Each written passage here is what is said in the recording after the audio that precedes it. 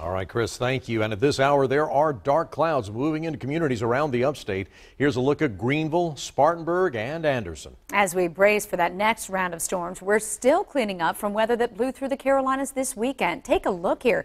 In Anderson County, roofs were blown off homes and trees came crashing down as 85 mile per hour winds swept right through the area. No one was hurt, but there were some close calls. 7 News' Nicole Ford spoke to a family who was right in the line of damage. She's joining us now live with those stories. Nicole.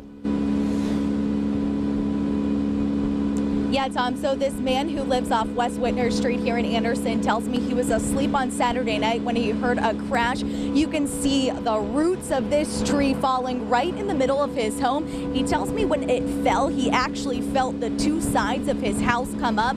You can see crews are actually here on scene today cleaning up the mess. But if you take a look at some of this video we shot yesterday over the weekend as well as earlier today, that this wasn't the only home that was damaged in these powerful winds Saturday night. The National Weather Service estimated these straight line winds came in at about 85 miles per hour, leaving many without power for hours. Now, Judy Kreider says she is thankful the damage to her home wasn't worse, but she says she barely had time to react when she first heard the storm coming. My mother was in this bedroom asleep, and this is the sunroom, and um, the tree fell on both of them.